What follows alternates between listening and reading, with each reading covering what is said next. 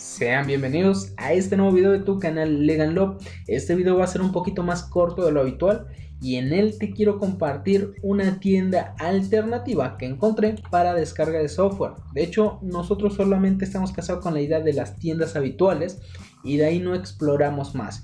Yo la tienda que, te quiero recomendar es Firehorse. Así se escribe, Firehorse. Esta tienda es muy buena, esta tienda ya la chequé, descargué software de ella.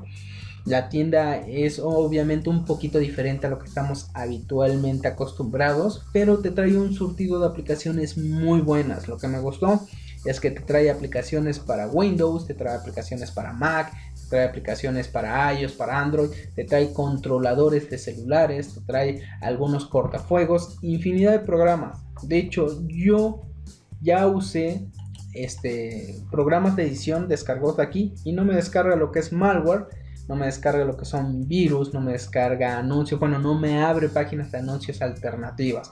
Obviamente como toda tienda, este sí tiene anuncios eh, eh, en sus páginas, este, como estos, pero a lo que yo me refiero es que al descargar, este, darle clic para la descarga del software, no te abre otras pestañas.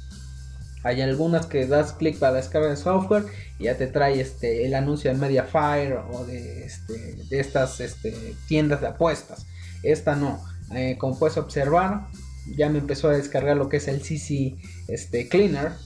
Y le voy a poner en instalar y solamente me descargó lo que es el programa. No me descargó nada más. Es lo que me gustó de esta tienda. De hecho, yo te la recomiendo mucho.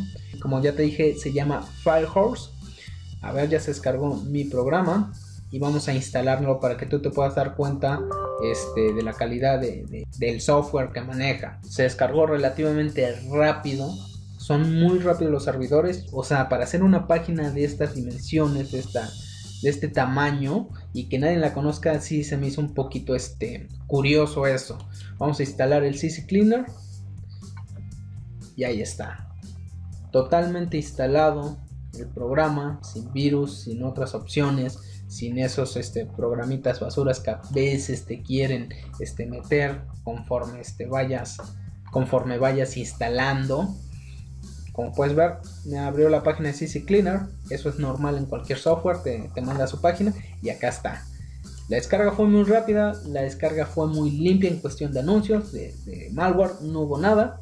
Y como puedes observar, funciona al 100%. Te dejo el link en la parte inferior de este video. Esta página yo te la recomiendo mucho, te repito, y date una vuelta. Te aseguro que no te arrepentirás. Bueno, esto fue todo por el video de hoy. Un saludo y hasta la próxima.